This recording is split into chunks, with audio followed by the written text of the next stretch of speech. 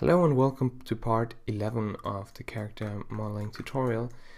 Um, let's continue from where we left off. So to begin now with this part, I will start by um, marking where the arm is going to start, so I won't forget about that again. However, I'm going to um, raise the height a bit of where the arm is and do some small um, adjustments while working because I already have some ideas of uh, how this uh, mark is and such. So it should be somewhere about around here. And it's not so we don't have to worry so much about the poly count just yet. Just make sure that this bump over here will connect um, into this direction on the side. Um, just make space for that. Um, it also has anatomical reasons because of the muscle flow. Um, yeah, that's good I think. Let's move it a bit out and twist it a little bit. Yeah, that should be right. Mm, now let's start with the back I think that's good. I'll start with um, the spine and extrude it upwards like like this to about here. That should be good. And then I will um, do this and connect this one down again so that we have uh, no actually not connected to here. Let's disconnect it like this. This should be good and this will then give us um, this turn we need for the shoulder plate. The only thing I don't like is that it is still way too low. Uh, let's rip this off and connect it like this so that we have this curvature later on when, when we need it. Um, so until then we'll adjust uh, our polys again.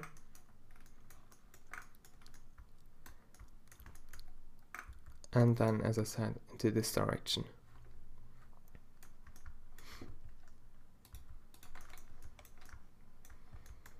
And we'll connect to the arm about here and move these two a bit more together. These two edges. Alright. Now this part here will give us um, you know the lower end of the shoulder blade. I think you could say it like that. So just telling you so you know what we're working on. Okay. Yeah this part will definitely um, look weird once we're done I think so at least, um, but it's the same situations as we had it already quite often. We just have to go back then and do our modeling work le uh, later on instead of doing everything perfect right away. Let's see, so these will connect and then we have two here but only one loop here, so let's add another one so that everything matches. Connect all this and then from down here there are two loops and let's continue to work with those as well. Okay so so where we where we roughly you see we have shoulder blades of course they look horrible but let's um not worry about that right now. So the shoulder will be around here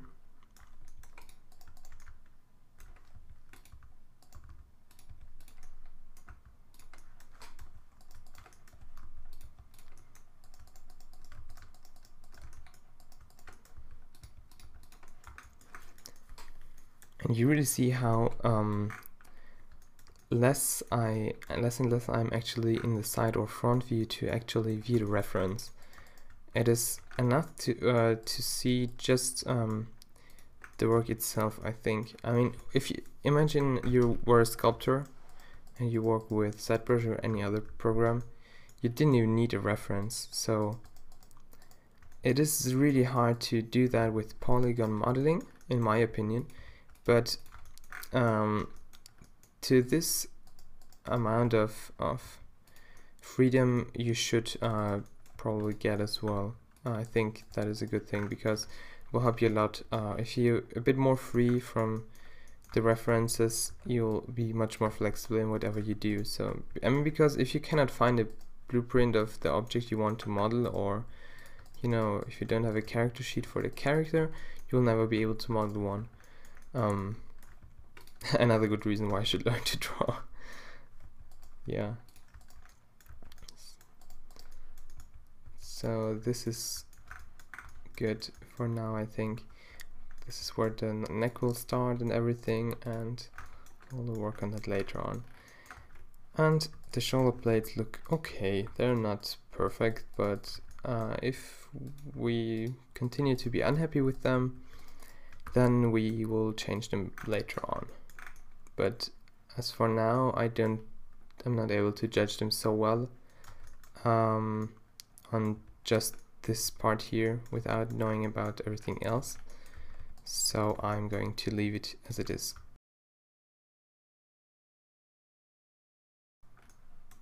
Yeah but it doesn't look so bad anyways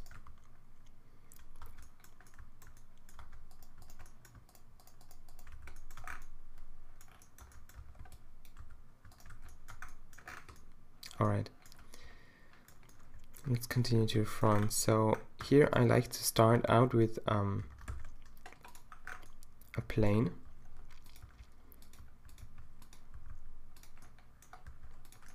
And you'll see why uh, right away. It also has a, um, a reason with um, topology. So you see we can create um, the shape of the breast in many ways but uh, the way I like to do it is create just this cube with one face missing then subdivide it and set the smoothness high. Okay just avoid to uh, have disconnected. So the shape is obviously very off and stupid but um, you see the structure of how this um, is formed uh, the way the edges uh, go? That is uh, what I want to use here um, so yeah let's do all the adjustment work again.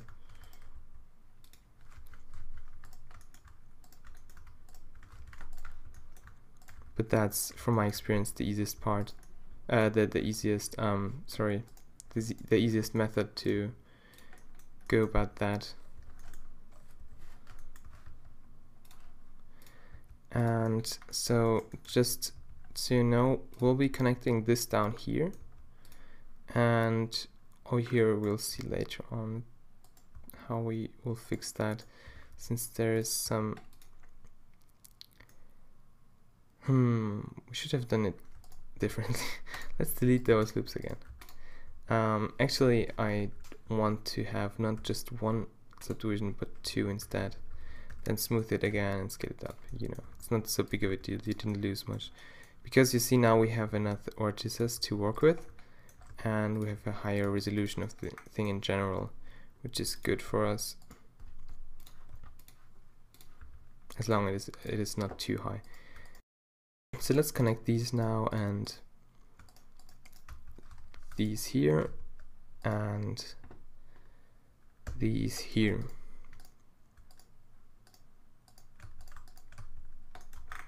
Okay and then start modeling until you're satisfied with your result. Now, one thing you might want to um, make sure though is over here I'm going to rip this open, this one loop, and connect this one with, or actually let's create one subdivision. It should look about like this here. Um, that's just because of the muscle flow as I mentioned earlier. You'll see if you look at your arm or something, there's this muscle that goes right in there and by connecting our vertices like this, we'll be able to imitate something very similar. Um, just make sure it is really at the right position, not off as it was here.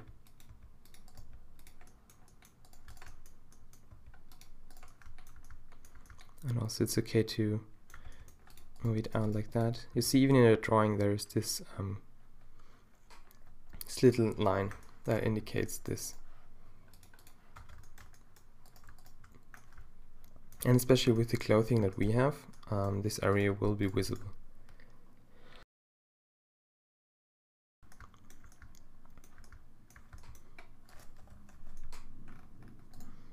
And for proportional editing, you can also change the shape, by the way. That will make it easier for various situations to find a better, um, yeah, better editing method.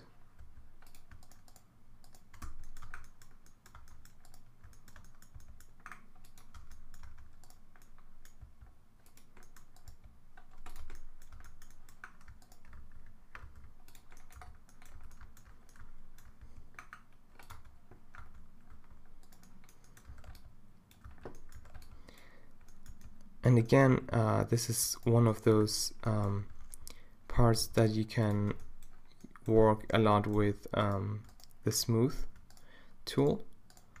Um, that's what I almost always do here. And if I don't use smooth I use uh, the normal grab uh, translation thing uh, with proportional editing on. Because normally um, by smoothing it the entire thing yeah, it, it's, it's smooth. So by doing then proportion editing, I ensure that it remains smooth. Because we don't want to have anything sticking out like that and it will create bumps and stuff and weird deformations, things we don't want in general. So let's make sure we don't have that. By the way, with Control E, you can open up this menu and there is select loop uh, or and uh, the, the inner region that will select the entire face within the loop that you've selected. That's also helpful. And if you don't find a feature that I use with space, you can simply find anything here. Uh, at, what was it? Or isn't? Or is that not the case? Yeah, okay, I don't know. I'm not sure, but most things you can find here as well. Worth giving it a try if you want to search for anything.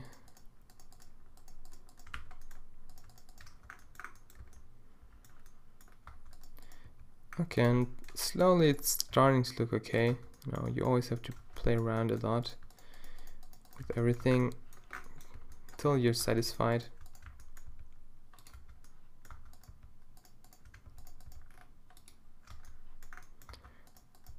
But that's what modeling is about after all, so I don't think you'll mind that. So we have still quite a bit uh, left to do. We'll take care of this area here in the next video. Thank you for watching as always.